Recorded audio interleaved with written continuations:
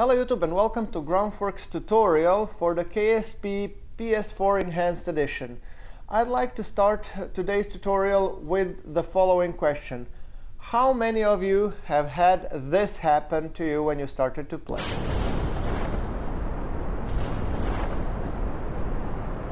Just in case you are wondering what exactly happened is that both the rocket motor the flea and the parachute fired at the same time. Well, if that's something that happened, then welcome to our staging tutorial. Today I will be covering what is staging, how it works, and how you need to make use of it. Alright, so let's get to the beginning of this example. What happened? In this case, what happened is that both rocket motor and the parachute fired simultaneously. And if we go to the, you need to hold, press your uh, triangle, press up and go edit stages. And this will bring this little bit icon here to life. So what is happening here is that, as you can see, we have only one stage, which is highlighted here with zero and it says that when you press the stage button the rocket motor and the parachute will fire simultaneously. So it, it did exactly what we told it to. What we should have done is press plus 5 or sorry press plus and then moved this rocket motor into the bottom stage. So if we try to read this now, what will first happen? First, Stage 1 will fire, which is the rocket motor, and then the parachute will fire when we tell it to. Right, so let's give it a test, shall we? Three, two, one, ignition. So as you can see here, now the parachute is staying put while our flea rocket motor is firing. And that's the way it's supposed to work.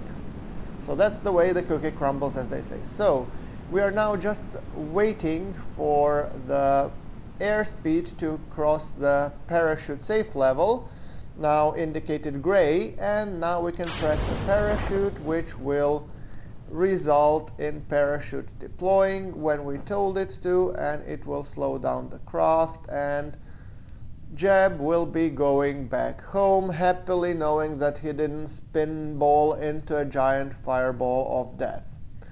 Right well, still has some spin, but that we can always fix using the SAS onboard controls. Right. Now, this more looks like a capsule that is under control. So, that seems simple enough. So let's go to a little bit more advanced example. The rockets work on the principles of staging because uh, it is actually takes a lot of energy to take uh, to take things into orbit. Uh, and a lot of energy means that when you burn up your fuel, you, the rest of the booster, which you are basically hauling, is essentially dead weight.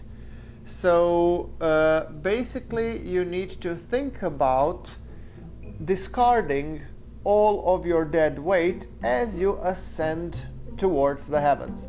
So let me just show this um, now staging here. Hold on pressing and edit stages.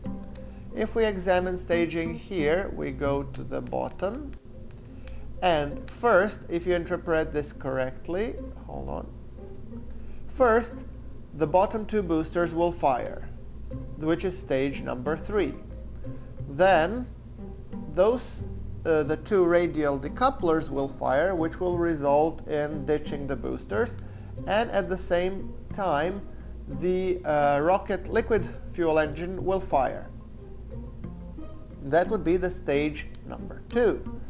And the third, you will have the stack decoupler fire, so detaching only the top part of the rocket and the rocket engine, which is actually hidden here, which will be firing then as well. Finally, when we are done with everything, then the parachute will fire on descent, hopefully. Let's see how that works in real life. Or, how does that work when we try it?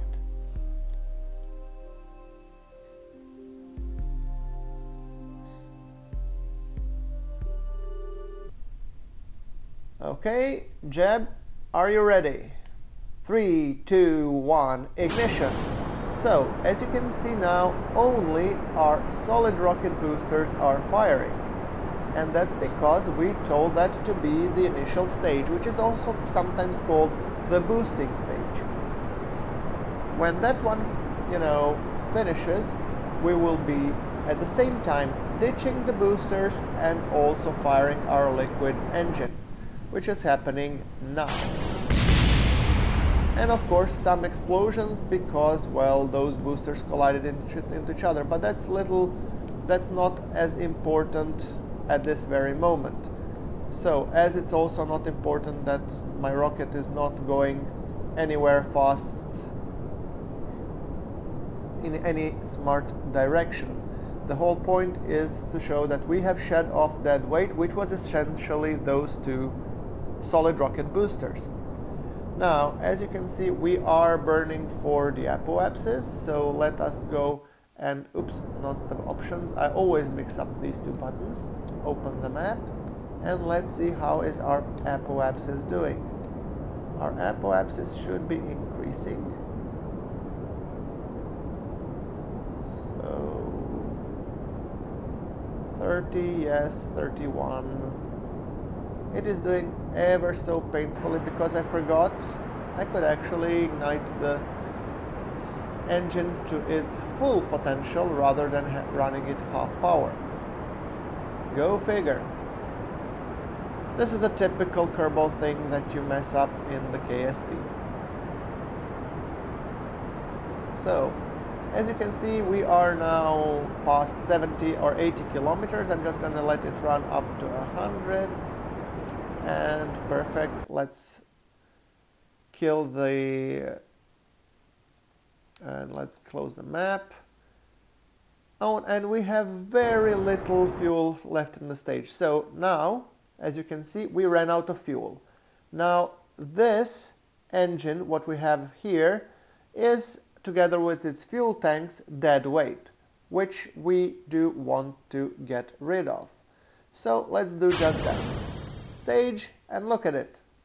And it's going. I have also activated the last stage, which is the small Terrier rocket fuel motor.